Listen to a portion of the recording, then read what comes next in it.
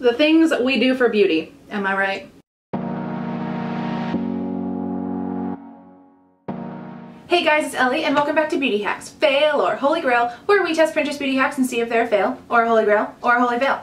Today we are doing the Coca-Cola Hair Rinse, made famous by supermodel Suki Waterhouse, and it was the number one voted hack that you guys wanted to see in this week's poll. So let's go ahead and get started. For this hack, you will need Coca-Cola. The research I've done says if you have short hair, one can will suffice. If you have long hair, like I do, you'll need two cans. We're using two bottles because I just want to make sure we have enough to do this. And today we are sharing a Coke with Margaret and Connie. So shout out to any Margarets or Connies out there. We're sharing Cokes with you today. This is my natural texture. My hair is completely dry right now and I haven't styled it whatsoever. It's just kind of like long and straight and it does some things at the end but but not really. So according to the internet if you rinse your hair with coke it will give you nice tousled Amazon like waves and the internet did say it works best on thin limp hair my hair is not thin, it's fairly thick, so I don't know how it's gonna work for me, but you guys wanted to see it, and I wanna see it, so we're gonna try it. Okay, so since I won't probably be able to explain this to you as I'm pouring it over my hair, I'm just gonna tell you what we're gonna do. I'm gonna put all my hair over, and I'm gonna pour the Coke over my hair into this bowl, and I think it's gonna take all of my concentration, so I'm probably just gonna put it to music, and we'll see what happens. I'm a little terrified, but let's go ahead and see.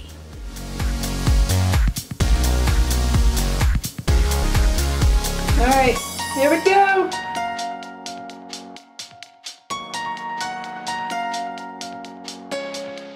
Oh man, this is not working. It's not fitting in the bowl. My aim is off.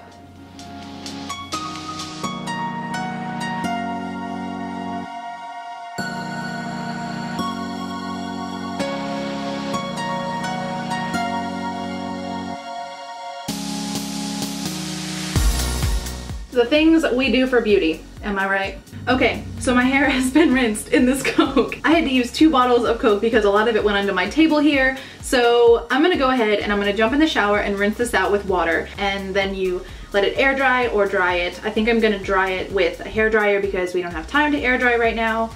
And I'm gonna scrunch it as I dry to kind of give it some tousled power. And then I'll be back and we'll look at my hair and we'll see what happened. This is what it looks like post shower. So there's potential. It definitely looks more wavy than usual. So I'm not gonna brush it because I don't wanna ruin any of the waves that might be happening. So I'm just gonna blow dry it and hope that it will come out beautimous. Okay, so halfway check-in. I'm about halfway dry here and it's looking pretty good. I mean, I definitely have more texture than usual. I don't know if this is something that looks very nice, but I think that it's definitely getting there. So let me finish drying it and then we'll find out. Okay, so my hair is completely dry now. Obviously, I lost all of my makeup when I rinsed it in the shower, and I lost my Fail or Holy Grail shirt too because it got covered in soda. So I put on this black tank top, not realizing that you can't see my hair because it's the same color as the tank top. So I'm gonna put on a white shirt, and I'm just gonna throw it on over so that we can see my hair texture. Okay, so here is the hair texture.